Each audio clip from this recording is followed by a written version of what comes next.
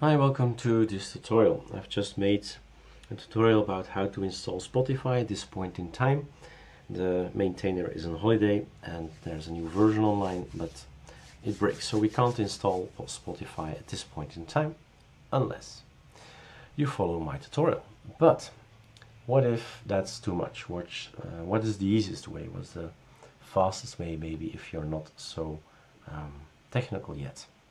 Well, you do this follows. You go to Arch Linux, uh, AUR, Arch Linux, and you look for the package Spotify. Okay. Then you download a snapshot. We need the snapshot. I've done it already, so I'm gonna check what I have. Downloads. So this is my second download.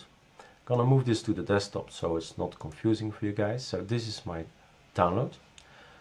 I'm gonna extract it here this can go now and this is what we need to run it. But the package build is wrong. So I have and I will and uh, it is already provided a link to the video. So how to fix installation 1st of April. If you go and check that one then there is a link. This is the link. Control C. And it's open I guess here control V. And that's the correct package build. So you need to replace the one you downloaded with this one. The easiest way to do that is click on the button roll which gives you the raw text. Control A control C. Get it away out of the way Remember, working, we were working on the desktop, so this package build is old, is, is, should be renewed, but the maintainer is on holiday, so let him enjoy his holiday and we can fix it ourselves. Control A, delete, Control V, save. That's it. Now I have to tell you one thing and then you have your Spotify. Open terminal here, make me the package.